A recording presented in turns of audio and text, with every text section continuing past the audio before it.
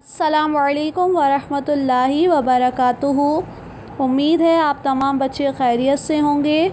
आज हम अरबी में डे थर्टी सिक्स के हैश एट में सफ़ा number thirty seven thirty eight और थर्टी नाइन की पढ़ाई करेंगे।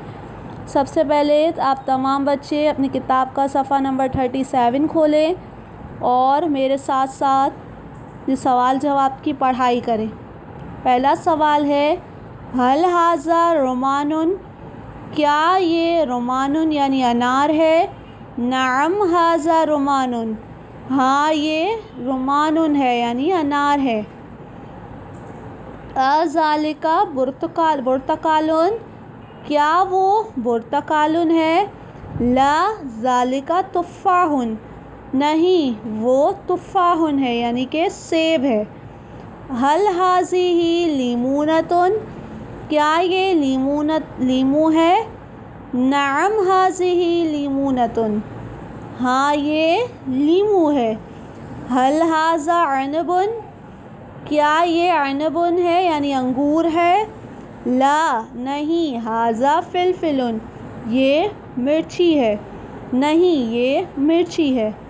हल जालिका मशमशन? क्या वो मशमशन है, यानी कि ख़ुबानी है? नाम हाँ जालिका मशमशन हाँ वो खुबानी है। आ, तिल का मंजतन, क्या वो मंजतन है? यानी कि आम है? ला, नहीं, जालिका टमाटम, नहीं, वो टमाटर है। अत जालिका तुफ़ाहुन, क्या वो तुफ़ाहुन है? यानी सेब है। ला, नहीं, तिल का मंजतन। नहीं, वो आम है, ठीक है? अब सफ़ा नंबर थर्टी एट की पढ़ाई करते हैं। तमाम बच्चे अपनी किताब का सफ़ा नंबर थर्टी एट खोलें। सबसे पहले हम फलों के नाम पढ़ते हैं। मौज़ुन केला, अरनबन, अंगूर, पित्तीखुन, तरबूज। अलखुदर यानी फलों के सब्ज़ियों के नाम। कसाउन ककड़ी। सौमन, लहसुन। बसलन, प्याज। अलवानी पढ़ते हैं, यानी बर्तनों के नाम। दलबुन डोल। कौबुन कौबुन, ग्लास। सहनुन, प्लेट। हैवान, यानी जानवरों के नाम। हिमारुन, गदा। फ़ीलन हाथी असदन शेर। अलमरकबा यानी सवारियों के नाम। सयारतन गाड़ी, सफ़ीनतन बहरी जहाज़, तैयारतन हवाई जहाज़।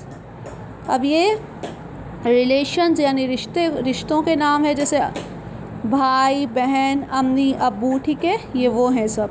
असरा अब्बन, बाप उमन माँ इब्न बेटा। अलहशरात, यानी कीड़े मकोड़ों के नाम, अनकबूतन, मकड़ी, ज़ुबाबन, मक्खी, नमलतन, चुंटी। अब सफ़ा नंबर थर्टी नाइन की तरफ़ आते हैं। यहाँ आप तमाम बच्चों ने मुख्तलिफ़ तरीक़ों से काम किया होगा। यहाँ किसी ने कौन से फल, किसी ने कोई, कौन से फल लगाए होंगे, किसी ने कौन सी सब्ज़ी लगाई होगी, ठीक है?